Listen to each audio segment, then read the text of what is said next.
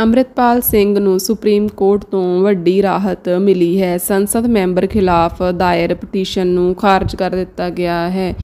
NSA ਤਹਿਤ ਜੇਲ੍ਹ ਵਿੱਚ ਬੰਦ ਸਿੱਖ ਪ੍ਰਚਾਰਕ ਅੰਮ੍ਰਿਤਪਾਲ ਸਿੰਘ ਨੂੰ ਸੁਪਰੀਮ ਕੋਰਟ ਵੱਲੋਂ ਵੱਡੀ ਰਾਹਤ ਮਿਲੀ। ਐਸਸੀ ਨੇ ਪੰਜਾਬ ਦੇ ਖਡੂਰ ਸਾਹਿਬ ਤੋਂ ਸੰਸਦ ਮੈਂਬਰ ਵਜੋਂ ਚੁਣੇ ਜਾਣ ਵਿਰੁੱਧ ਦਾਖਲ ਪਟੀਸ਼ਨ ਖਾਰਜ ਕਰ ਦਿੱਤੀ ਹੈ। ਪਟੀਸ਼ਨ ਵਿੱਚ ਸੰਵਿਧਾਨ ਦੀ ਧਾਰਾ 84 ਦਾ ਹਵਾਲਾ ਦਿੱਤਾ ਗਿਆ, ਜੋ ਸੰਸਦ ਮੈਂਬਰ ਦੀ ਯੋਗਤਾ ਨਾਲ ਜੁੜਿਆ ਹੋਇਆ ਹੈ। ਪਟੀਸ਼ਨਰ ਨੇ ਦਾਅਵਾ ਕੀਤਾ ਹੈ ਕਿ ਇਸ ਮਾਮਲੇ ਵਿੱਚ ਅੰਮ੍ਰਿਤਪਾਲ ਸਿੰਘ ਨੇ ਕਿਹਾ ਕਿ ਉਹ ਭਾਰਤ ਦੇ ਸੰਵਿਧਾਨ ਪ੍ਰਤੀ ਵਫਾਦਾਰ ਨਹੀਂ ਹੈ। ਪਟੀਸ਼ਨਰ ਨੇ ਕਿਹਾ ਕਿ ਉਹ ਖੰਡੂਰ ਸਾਹਿਬ ਹਲਕੇ ਦਾ ਵੋਟਰ ਨਹੀਂ ਹੈ, ਪਰ ਉਹ ਅੰਮ੍ਰਿਤਪਾਲ ਦੇ ਬਿਆਨ ਤੋਂ ਉਸ ਨੂੰ ਪੀੜਾ ਹੋਈ ਹੈ। ਪਰ ਜਲੀਲ ਸੁਣਨ ਤੋਂ ਬਾਅਦ ਜਸਟਿਸ ਬੀ ਆਰ ਗਵਈ ਅਤੇ ਕੇ ਵੀ ਵਿਸ਼ਵਨਾਥਨ ਨੇ ਦੀ ਬੈਂਚ ਨੇ ਪਟੀਸ਼ਨ ਨੂੰ ਰੱਦ ਕਰ ਦਿੱਤਾ ਹੈ, ਜੋ ਕਿ ਅੰਮ੍ਰਿਤਪਾਲ ਸਿੰਘ ਲਈ ਰਾਹਤ ਭਰਿਆ ਫੈਸਲਾ ਹੈ। ਦੱਸ ਦੱਸਦੇ ਕਿ ਅੰਮ੍ਰਿਤਪਾਲ ਸਿੰਘ ਇਸ ਸਮੇਂ ਅਸਾਮ ਦੀ ਡਿਬੜੂਗਲ ਜੇਲ੍ਹ ਵਿੱਚ ਬੰਦ ਹਨ। ਅੰਮ੍ਰਿਤਪਾਲ ਸਿੰਘ ਤੇ ਰਾਸ਼ਟਰੀ ਸੁਰੱਖਿਆ ਐਕਟ